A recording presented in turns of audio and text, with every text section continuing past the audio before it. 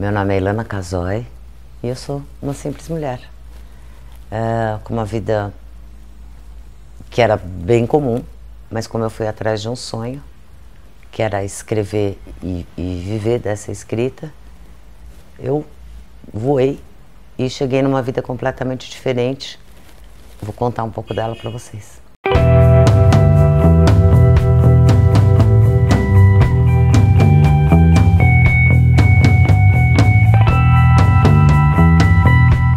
Primeiro livro foi um ano sabático. Eu estava com uma vida monótona, rotineira, meus filhos estavam crescendo, já estavam adolescentes. Eu sempre escrevi, o que não significa escrever um livro. São coisas diferentes, um abismo entre as duas coisas. Mas eu tirei esse ano sabático, eu trabalhava numa escola, trabalhava com administração de empresas, que é a minha primeira formação, e, e resolvi parar tudo e meditar sobre o, o que eu queria dali para frente. E nesse ano sabático eu escolhi escrever, um assunto para escrever, para pesquisar.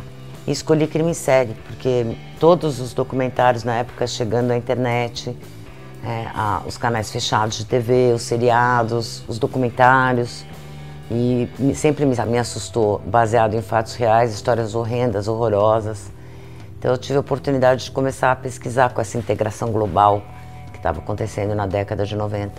E foi um caminhar, porque eu achei que eu não ia publicar, não tinha esse objetivo, não tinha assim, ah, achei um assunto que então eu vou escrever, aí eu vou publicar um livro. Era um ano sabático mesmo. A escrita é o meu grande canal de desabafo, é o meu grande canal de pensar. Então, é, era o óbvio, não, não, parecia que ia mudar tudo, não tinha, ah, nossa, aí eu vou publicar. E eu publiquei também. Uh, rápido e casualmente. Eu ia, eu estava conversando numa grande editora que ia levar dois anos, talvez. De repente apareceu uma editora Corta Caminho que falou publico já para Bienal agora. Então as coisas aconteceram e dali da publicação eu fui chamada para um caso real no ano seguinte, escondida, claro, para participar e, e porque crime em série é um assunto pouco estudado no Brasil. Agora mais, mas naquela época nada, né? Não tinha nem tradução para o termo serial killer. Continuava serial killer. Muitos casos que eu entrei, durante muito tempo eu entrei escondida e permaneci escondida.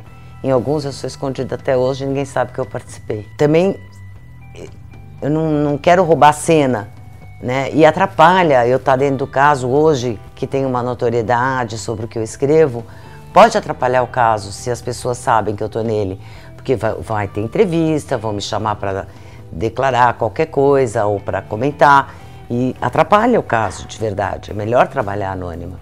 E, e alguns assim eu permaneci também, grandes segredos, uh, porque eu colaborei ainda numa situação onde isso não seria aceito por uma chefia, por uma supervisão. E eu, como a minha busca não é uh, que isso seja divulgado, era o saber, porque a, a grande matéria-prima para o meu estudo é o caso real.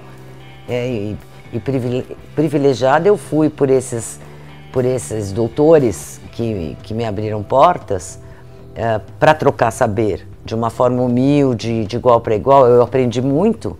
Ah, como medir quem que aprendeu mais? Eles aprenderam, eu aprendi também muito. Então, uh, o anonimato é bom. Eu acho sempre um desafio. Eu não sei se é uma questão de gênero só, no meu caso, porque eu também trago um saber diferente que ninguém, todo mundo estranha, mas essa mulher não é polícia, o que ela está fazendo aqui? É porque é mulher ou porque não é polícia? Ou às vezes até em outras esferas, não só policial, jurídica, judiciária. Agora, eu tenho uma história engraçada que foi com uma equipe que eu cheguei em outro estado, que tinha assim, já uma equipe com 15 integrantes, todos homens, não tinha nenhuma mulher. E o, o primeiro investigador, o mais importante ali, o que estava liderando a investigação, não foi com a minha cara, assim, direto. E eu também achei ele super arrogante e começou uma dificuldade. Assim, e o delegado que me chamou, claro, duas peças preciosas no tabuleiro dele, eu e o primeiro investigador, porque é realmente o cara que conhece toda a investigação, nos mínimos detalhes. Então ficou uma rixa, eu reclamava muito pro delegado desse investigador e ele reclamava muito de mim, o que, que ela tá fazendo aqui, ela não é, ela não sabe, sabe, não sabe. Aí um dia o delegado salomonicamente chamou nós dois e falou, olha, não me interessa se vocês se gostam, se vocês vão se entender, mas daqui para frente vocês vão andar juntos o tempo todo. Vocês dois são uma equipe quem vai te buscar no hotel é ele, quem vai te deixar no hotel é ele, e é ele que você vai acompanhar. E vamos ver o que, vai acontecer. Vocês vão se matar, vocês vão se entender. E hoje a gente é super amigo e eu vivo pedindo ajuda dele por telefone, uh, orientações, saberes dele, né, que ele sabe bastante. Então, uh, talvez nós dois tivéssemos preconceito. Eu de polícia e ele de mulher ou de profiler ou o que quer que fosse ali. Eu não sei se aumentou a violência contra a mulher ou se aumentou é, o reporte disso à polícia. A gente tem uma cifra negra importante. A violência doméstica e a violência contra a mulher ela é pouco denunciada. Existe uma vergonha que envolve o assunto, existe uma questão de sobrevivência. Muitas vezes o marido ou o companheiro que agride é o mesmo companheiro que sustenta. Uh, existe uma subserviência de quem sempre apanha, como uma síndrome de Estocolmo, que são aquelas pessoas que acabam, como a vida delas depende tanto do sequestrador, é daí que sai o nome, depois de um assalto a banco em Estocolmo, as pessoas defendiam então o, o líder dos sequestradores. Então a gente chama de síndrome de Estocolmo qualquer pessoa que vive um cativeiro e tem o dono do cativeiro, é, dono da lei, da ordem, da, daquela relação, e que é muito castigada quando não obedece. Como é que você tira a mulher desse medo, desse lugar? Tem uma outra questão importante no que é ser violento. Em muitos testes uh, que tentam responder objetivamente se aquela mulher está em risco de fato e quanto ela está de risco, de 1 a 5, quanto ela realmente pode ser morta por aquele companheiro, quanto é de verdade o risco. É, tem mulheres que você entrevista e você pergunta assim: você apanha? Ela fala: não, apanhar nunca, nunca apanhei. Ah, então tá. Aí você anda mais um pouquinho na entrevista e você insere uma pergunta assim: ele já te empurrou? Ah, já. Empurrar, ele já me empurrou. Algumas vezes. Ah, então tá. Aí você anda mais um pouquinho com a entrevista e com os jeitinhos fala assim: você já apanhou na cara? Ah, bom, tapa na cara é uma coisa que sempre acontece quando eu perco a cabeça.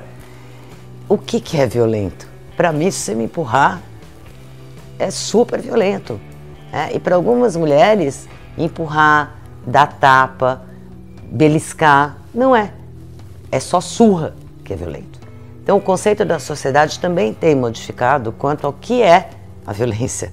É, gritar é violento, humilhar psicologicamente. Hoje, muita gente já consegue enxergar que é uma violência. Você não, não precisa ser física. A violência, um homem que humilha uma mulher, um companheiro que humilha o outro ou a outra, é, é gravíssimo. Essas pessoas também estão num cativeiro psicológico. Mulher tem certas particularidades. De fato, nas estatísticas, as mulheres são 10% eh, do número de presos, de condenados em qualquer país. Eh, mulheres, de fato, têm outras formas de violência eh, mais sutis.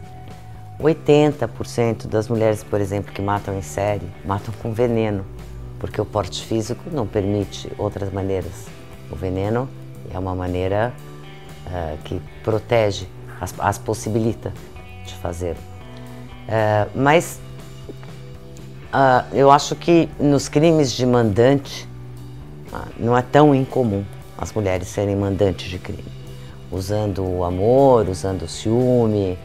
Uh, agora, são crimes mais raros esses crimes, do, no caso da Suzane, que é um crime de parricídio, aí já a questão dela, ela, ela que usou a figura da mulher frágil. Né? Ela não é absolutamente nada frágil, ela é uma mulher bem forte, bem inteligente, bem organizada e bastante culta. Mas sempre que ela aparece em público, ela fez essa tentativa desde as primeiras entrevistas de roupas mais infantis, né, cabelos de Maria Chiquinha, mesmo nas últimas entrevistas, quando ela falou com um apresentador de TV recentemente, um, um jeito assim é, que ela faz questão de reforçar a, o lado feminino, né? o lado mais doce. Mas é só ler o processo ou pode ler meu livro também, tá lá. Tudo, é, não, não, não, não tem muita realidade nisso quando você está próximo dos fatos. Meu maior aprendizado é que vale a pena ir atrás de um sonho, por mais louco que ele pareça. Não só na tua questão profissional, no teu grande amor, na, na, na viagem que você pensa todo dia, mas que é tão louco. É, você sabe que eu estou voltando agora para um sonho. Eu sou avó e fui para o Xingu, porque na adolescência eu queria ser do projeto Rondon e queria fazer medicina. Já era medicina legal, né? Eu já tinha essa queda para esses mistérios do corpo falar. Não fiz medicina, não fui para o projeto Rondon, mas hoje tenho projetos na área indígena, né? tenho projetos nesse assunto que, que são muita novidade, quero entender uh, o código deles, não só o código penal deles, entender a cabeça, como eu já queria, e é um sonho que eu ainda posso fazer. Então, na vida dá tempo. Se você, acho que esse é o maior aprendizado é, resgatar sempre né? o que, que eu pensei que eu não fiz, o que, que eu tive vontade que naquele momento na minha vida não deu, mas talvez hoje caiba. Então eu, eu acho que esse é o maior aprendizado. Escrevi o primeiro livro sem nenhum objetivo, o Serial Killer Louco ou Cruel. Eu escrevi depois o Serial Killers Made in Brasil com muita pressão, porque como primeiro, quando você escreve um livro que vai muito bem, você fica muito pressionado porque o segundo tem que se equiparar na qualidade.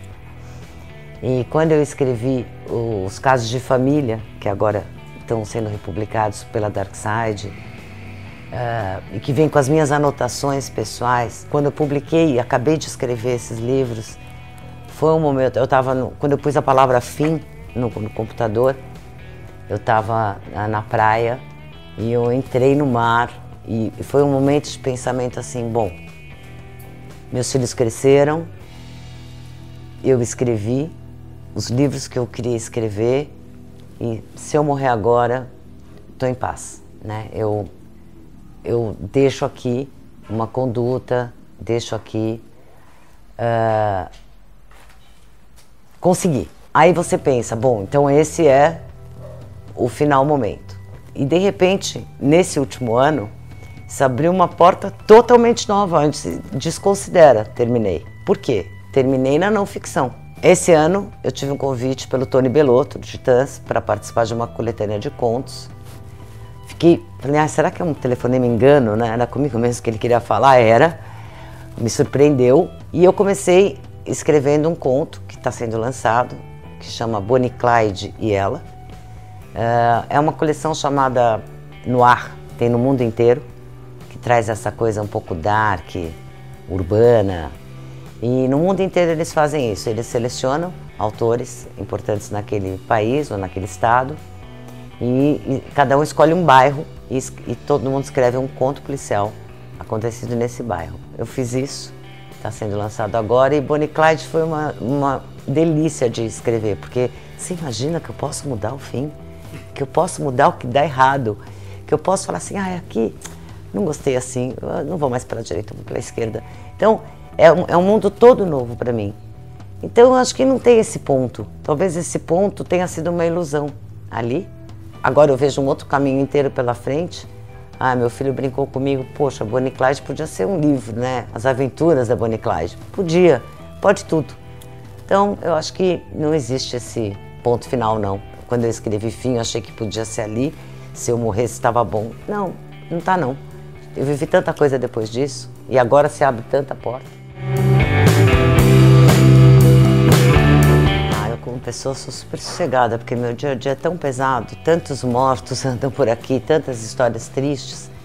Então quando eu fecho as cortinas, é, eu, eu sou, tenho um lado da minha vida assim muito doce. Ah, eu tenho uma família muito acolhedora, eu tenho um amor maravilhoso, eu tenho projetos outros de vida pessoal, de viagens que eu quero, de outros estudos. Eu não gosto muito de olhar futuro, porque como eu vejo todos os dias tantas pessoas que tinham milhares de planos e morreram na porta de casa. Então eu, eu tento não fazer tantos planos de futuro e prestar mais atenção no que eu estou vivendo hoje, agora, e tenho projetos agora, eu não sei se vão dar certo ou não vão. Então eu acho que viver o presente é também uma lição, um aprendizado cotidiano. Leilana é uma pessoa que busca ser feliz e não ter razão. Eu não busco mais ter razão. Hoje eu busco ser feliz. Eu acho que já é um grande objetivo e bem difícil de conquistar.